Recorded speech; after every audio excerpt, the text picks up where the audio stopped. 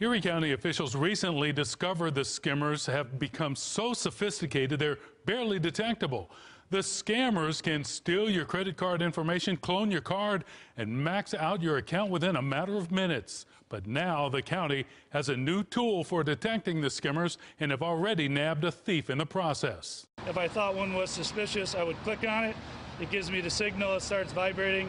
Meet the BlueSleuth, an electronic device that can sense a Bluetooth signal from as far as 250 feet away. Erie County officials got this one two weeks ago for detecting the newest Bluetooth enabled credit card skimmers. Officials told us a crook can install one of these inside a gas pump in a matter of seconds. Clip, clip an illegal device in between, which basically either sends a signal out via Bluetooth technology or via cell phone technology, which is even the scarier one that's coming out now.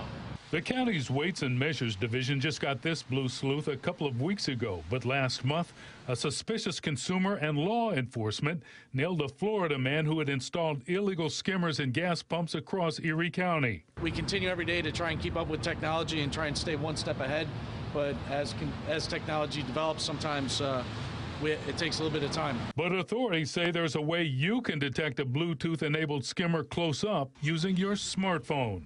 Go to settings, go to your Bluetooth, and look for discoverable items.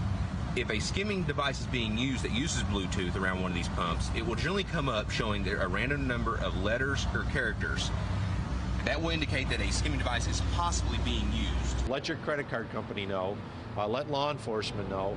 Uh, you can contact the Division of Weights and Measures. You, can, you should also contact the New York State Attorney General's office. And it gets even scarier. If a scammer can insert a Bluetooth skimmer inside a gas pump or even a cash register, by the time the device is detected, the crooks can be long gone. And there's a new generation skimmer that can transmit your credit card data by cell phone anywhere in the country.